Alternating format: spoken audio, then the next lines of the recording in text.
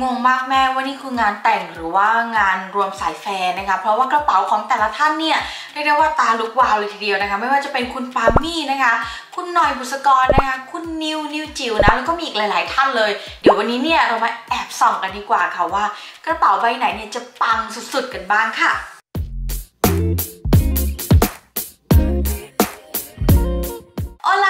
ค่ะ ตอนนี้คุณอยู่กับโมสนะคะ แล้วนี่ก็คือช่องแคสซิล่าโมสค่ะ วันนี้เนี่ยเดี๋ยวโมสจะพาไปส่องกระเป๋าสวยๆนะคะในงานแต่งของคุณพับโปเตโต้นะคะ กับคุณเตยนั่นเองค่ะสองท่านนี้นะคะเรียกได้ว่าจัดงานแต่งได้ หรูหรานะคะแล้วก็สวยงามมากๆเลยด้วยนะ จริงๆแล้วเนี่ยโทนด้านในเนี่ยมอสว่ามันน่าจะเป็นงานแต่งที่เหมือนเป็นเซตโทนของงานแต่งแบบใหม่เลยก็ว่าได้นะเหมือนมันไม่ได้มีความเยอะทุกอย่างมันดูเรียบง่ายนะคะดูมินิมอลแต่ออกมาแล้วแบบโอ้โหดูสวยนะคะ แค่ฉากหลัง backdrop อะมีแค่แบบสีแบบพื้นๆนะทุกคนแล้วก็มีเป็นตัว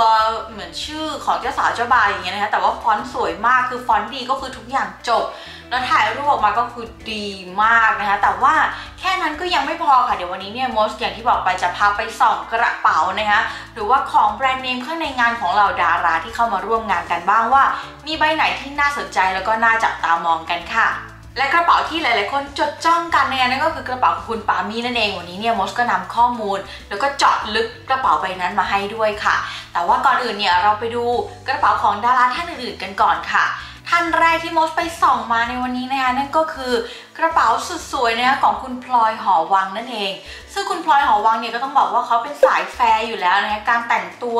การเล่นสีอะไรต่างๆเนี่ยก็ต้องบอกว่าเป็นตัวแม่ยืนหนึ่งเลยทีเดียวค่ะ และกระเป๋าที่คุณพลอยหอวังเลือกถือมาในงานวันนี้ในงานก็คือ Burberry TB Bag นั่นเองค่ะหลายคนอาจจะสังเกตเห็นไปแล้วนะคะว่าตัวโลโก้ของ Burberry เนี่ย มันแตกต่างแปลกออกไปจากเดิมนะคะ เพราะว่าเขามีการเปลี่ยนลักษณะโลโก้นะคะแล้วก็เหมือนคล้าย ๆ ว่าจะปรับภาพลักษณ์ของแบรนด์ใหม่นะคะทำให้มีความทันสมัยมากขึ้น ดูแบบมีความเป็นวัยรุ่นมากขึ้นด้วย กระเป๋าในรุ่นหลังๆค่ะ ก็เลยทำให้มีสไตล์ที่เป็น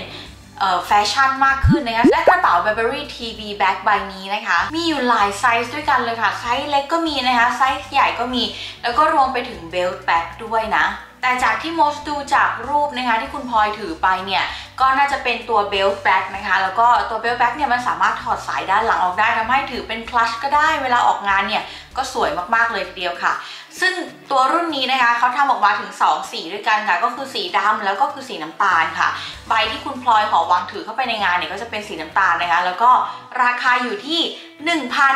1,150 ยูโรค่ะ และ กระเป๋าใบที่ 2 ที่มอสพาไปส่องกันวันนี้ค่ะ ก็คือกระเป๋าของคุณนิวนภัสสรนั่นเองนะคะหรือว่าที่หลายๆ คนรู้จักกันในชื่อของนิวจิ๋วนั่นเองนะคะ วันนี้เนี่ยคุณนิวได้ถือกระเป๋าใบหนึ่งที่เรียกได้ว่าสวยมากๆนะคะแล้วก็เป็นอีกหนึ่งแบรนด์ที่เป็นความภาคภูมิใจของคนไทยเลยก็ว่าได้ค่ะ นั่นก็คือ Boyy Romeo Crossbody Bag นั่นเองค่ะ กระเป๋าใบนี้ค่ะ วัสดุเนี่ยทำมาจากหนังลูกวัวนะคะแล้วก็มีความเป็นเอกลักษณ์ตรงที่ตัว buckle ด้านหน้านะคะที่เป็นรูปเข็มขัดตัวนั้นเนี่ย oversize นะคะเหมือนเป็นตัวที่บ่งบอกความเป็นแบรนด์นะคะเรียกว่าเป็นโลโก้ของแบรนด์เลยก็ว่าได้ค่ะ แล้วก็ตัว carry handle นะคะตัวนั้นเนี่ยคุณนิวถืออยู่เนี่ยอันนั้นจะเป็นในส่วนวัสดุของอะคริลิกนะคะทำให้ถือออกมาแล้วก็มีความหรูหราแล้วก็มีวัสดุที่ทนทานใช้งานได้นานอีกด้วยค่ะ แต่ว่าถ้าบางคนเข้าไปดูในเว็บนะคะก็จะเห็นว่ามันเป็นกระเป๋าที่สามารถ cross body ได้ก็คือสามารถใส่สาย cross body ลงไปตรงที่ top handle ตรงนั้นได้นะแล้วก็สามารถใส่เป็นสายสะพายได้เลย และสายเนี่ยก็สามารถปรับสั้นยาวได้ด้วยนะคะ ซึ่งราคาของกระเป๋าใบนี้ค่ะ อยู่ที่ 875 ยูโรค่ะ และใบต่อมานะคะก็เป็นกระเป๋าที่ยูทูบเบอร์ชื่อดังนะคะ ถือเข้าไปร่วมงานด้วยนะคะนั่นก็คือคุณส้มมารีนั่นเองค่ะ แน่นอนว่าคุณส้มเนี่ยเขาชอบสีส้มเป็นชีวิตจิตใจอยู่แล้วใช่ไหมคะทำให้กระเป๋าที่เลือกถือมาในวันนี้ค่ะ ก็เป็นสีส้มด้วย แล้วก็เป็นแบรนด์ดังเลยทีเดียวค่ะนั่นก็คือ Chanel 19 Waist Bag นั่นเองนะคะ หรือว่าหลายๆคนก็อาจจะเรียกว่า Belt Bag ก็ได้นะ แล้วแต่ว่าแบรนด์เขาจะเรียกกันยังไงนะคะในแต่ละแบรนด์นั่นเอง ซึ่งปกติแล้วเนี่ยลายตารางของ Chanel เนี่ยก็จะเป็นลายถี่กว่านี้ใช่ไหมคะ แต่ว่ารุ่น Chanel 19เนี่ยลายจะขยายกว้างนะคะ แล้วก็โลโก้เนี่ยจะจัมโบ้นะคะ เพราะว่ารุ่นหลังๆที่ทำออกมาเนี่ยหลายๆแบรนด์ก็ได้ทำการขยายโลโก้อย่างเช่นหลุยส์วิตตองก็มีเหมือนกันนะคะ ซึ่งตัวนี้ค่ะความพิเศษอยู่ที่หนังเนี่ยเป็นหนังลูกแกะ แล้วก็อะไหล่เนี่ยเป็นอะไหล่แบบ 2 กษัตริย์ค่ะก็คือ เป็นสีเงินนะคะ แล้วก็เป็นสีทองเนี่ยรวมกันในกระเป๋าใบเดียวเลยเรียกได้ว่าสุดๆค่ะ แล้วใบนี้ค่ะได้ออกมาในซีซั่นของ Spring Summer 2020 ที่ผ่านมานี่เองนะคะถ้าหลายๆคนเห็นในรูปเนี่ยก็จะเห็นว่าคุณส้มเนี่ยเอากระเป๋าที่เป็นกระเป๋าคาดเอวเนี่ยเอามาสะพายเป็นกระเป๋าสะพายไหล่เหมือนใช้เป็น shoulder bag เลย ซึ่งก็เป็นอีกหนึ่งวิธีที่สามารถใช้งานได้แล้วออกมา ดูสวยดูดีดูแพงด้วยค่ะ ใครที่มีกระเป๋า belt bag อยู่ก็อาจจะออกมาลองสะพายแบบเดียวกับคุณส้มมารีดูก็ได้นะ และกระเป๋าใบนี้ค่ะ ราคาอยู่ที่ 3,300 ยูโรค่ะ ซึ่งกระเป๋าใบต่อมาค่ะ เป็นใบเล็กๆ น่ารักเลยทีเดียวค่ะ เป็นไซส์นาโนนะคะ วันนี้เนี่ยไปส่องมาเป็นกระเป๋าของคุณหน่อยบุษกรนั่นเองค่ะ วันนี้คุณหน่อยถือกระเป๋าของ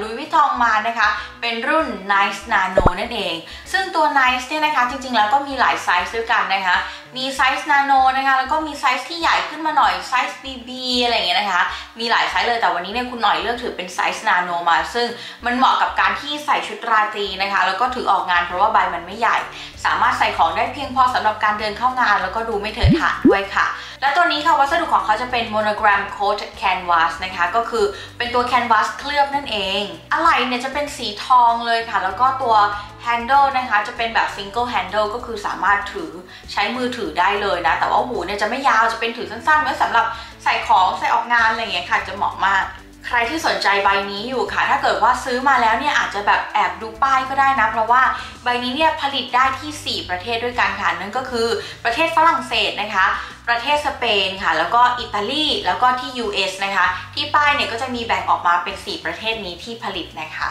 แล้วราคาเนี่ยก็น่ารักเหลือเกินค่ะ เพียงแค่ 490 ยูโรเท่านั้นเองค่ะ และใบสุดท้ายของวันนี้นะคะเรียกได้ว่าเป็นใบที่หลาย ๆ คนรอคอยเลยทีเดียวก็คือ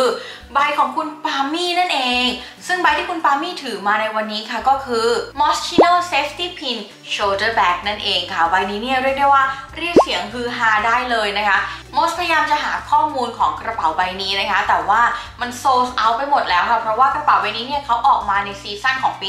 2019 นะคะจากแบรนด์ Moschino นั่นเอง ถ้าเกิดว่าดูในรูปค่ะก็จะเห็นว่าคุณปามี่เนี่ยใช้ถือเป็นแบบ top handle ใช่ไหมคะ จะถือจากตัวพินตรงนั้น แต่จริงๆ แล้วใบนี้เนี่ยเขามีสาย strap มาให้ด้วยนะ สามารถสะพายเป็น cross body ได้ด้วยเก๋ๆ แต่ว่าก็สามารถ adapt เข้ากับการถือเข้างานด้วย แบบนี้ก็สวยอีกเช่นเดียวกันค่ะ แต่ก็ต้องบอกไว้นะคะว่าแบรนด์ Moschino เนี่ยเป็นแบรนด์ที่มีเอกลักษณ์เฉพาะตัวมากๆ เพราะฉะนั้นจะไม่ใช่แบรนด์ที่เหมาะกับทุกคนนะคะ จะเป็นแบรนด์ที่เลือกเจ้าของอยู่ประมาณหนึ่งเลย อารมณ์จะคล้ายๆกับ Versace ค่ะ เขาจะมีความเป็นเอกลักษณ์คือเห็นปุ๊บ แล้วก็รู้เลยว่าอันนี้คือแบรนด์ Moschino อันนี้คือแบรนด์ Versace นะคะ อย่างแบรนด์ Moschino เนี่ยเขาก็จะเล่นกับพวกตัวการ์ตูนเล่นกับความสดใสเล่นกับสีสันอะไรพวกนี้ค่ะ ถ้าเกิดว่าใครที่จะเอากระเป๋าแบรนด์นี้อยู่นะคะ ต้องบอกเลยว่าเป็นคนที่แต่งตัวเป็นนะถึงจะเอาอยู่ต้องเป็นคนที่เลือกสีเก่งด้วยค่ะ เพราะว่าแบรนด์นี้เนี่ยเขาจะมีสีแบบสีสันที่มันสดใสค่ะ แล้วก็เชฟต่างๆของกระเป๋าเนี่ยก็จะไม่ใช่เชฟที่แบบเป็นกระเป๋าทรงเหลี่ยมทรงกลมที่เห็นทั่วๆไป ก็จะเป็นรูปตุ๊กตุนตุ๊กตาอะไรแบบนี้บ้างนะแต่ก็ต้องบอกว่าเป็นอีกหนึ่งแบรนด์ที่เห็นทีไรก็สะดุดตาทุกครั้งเลยค่ะสำหรับรา คากระเป๋าใบนี้นะคะโมชไม่สามารถหาราคาที่มันเป็นราคาโดยตรงจาก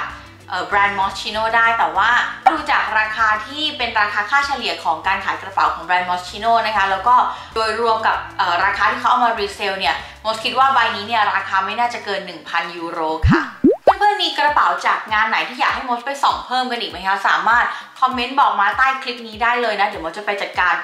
ส่องมาให้นะคะว่ามีใครใช้อะไรราคาเท่าไหร่กันบ้างค่ะถ้าเกิดว่าคลิปนี้เนี่ยมันบันเทิงดูแล้วมันสนุกค่ะ ก็อย่าลืมกดไลค์เป็นกำลังใจให้มอสด้วยนะคะมอสจะได้รู้ว่าโอ้ทุกคนชอบดูคอนเทนต์ประมาณนี้นะ เดี๋ยวมอสจะได้เอามาเสิร์ฟกันอีกโอเคไหมคะแต่ว่าถ้าใครที่ไม่อยากพลาดเรื่องราวความรู้ดีๆเกี่ยวกับแบรนด์เนมแบบนี้นะคะ ไม่ได้มีแค่เรื่องการส่องกระเป๋าชาวบ้านนะทุกคน ก็ยังมีเรื่องเกี่ยวกับว่าเข้าร้านแบรนด์เนมเนี่ยต้องทำตัวยังไงใครที่ยังเป็นมือใหม่ จะต้องเตรียมตัวอะไรก่อนเข้าช็อปบ้าง เข้าไปด้านในแล้วเนี่ยมีอะไรทำได้ทำไม่ได้บ้างนะจะได้ไม่ต้องแบบว่าประหม่านะสามารถเดินเข้าไปแบบสนุกแล้วก็สามารถใช้เวลาช้อปปิ้งได้แบบว่าเต็มที่เลยค่ะทุกคน ถ้าเกิดว่าใครที่ยังไม่มีประสบการณ์เกี่ยวกับการช้อปปิ้งแบบนี้ก็สามารถเข้าไปดูคลิปนะคะในช่อง c a t i l l a m o s ได้เลยคลิปเก่าๆเนี่ยโมสให้ความรู้ไว้เยอะเลยทีเดียวค่ะ หรือว่าใครที่ขี้เกียจเข้าไปค่ะไม่เป็นไรกด description ด้านล่างนะคะโมสลงลิงก์ไว้ให้เรียบร้อยแล้วแค่คลิกเดียวคุณจะได้เข้าไปดูข้อมูลด้านในได้ครบถ้วนเลยค่ะ แต่ถ้าเกิดว่าไม่อยากพลาดนะคะ ก็อย่าลืมค่ะกด subscribe นะคะแล้วก็กดกระดิ่งไว้ได้เลย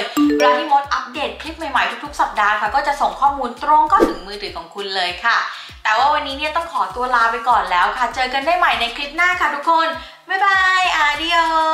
ส